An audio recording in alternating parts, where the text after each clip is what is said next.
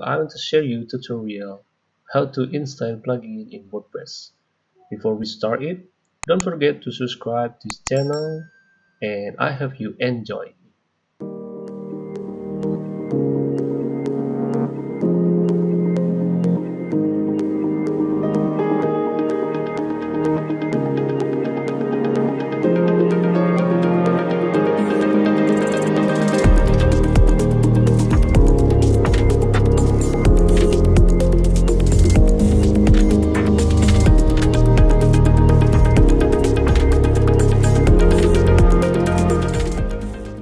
Okay.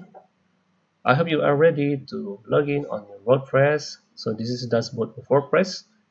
And before we install the plugin be sure you have to log in on your WordPress or you have installing WordPress in your hosting. So this is dashboard of WordPress. You can check in see here it's dashboard. So this is your domain and this is dashboard.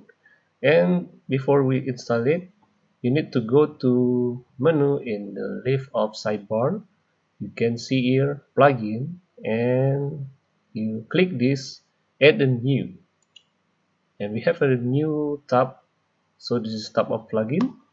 And you can install anything plugin WordPress what do you want. So I want to start it with Elementor. You can search with this search plugin and you can type.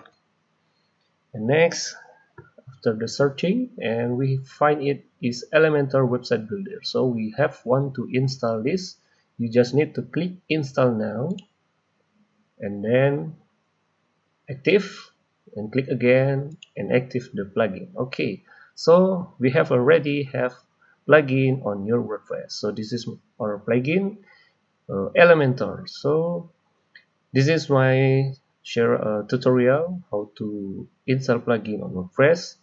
I hope you enjoy this video and thanks for watching.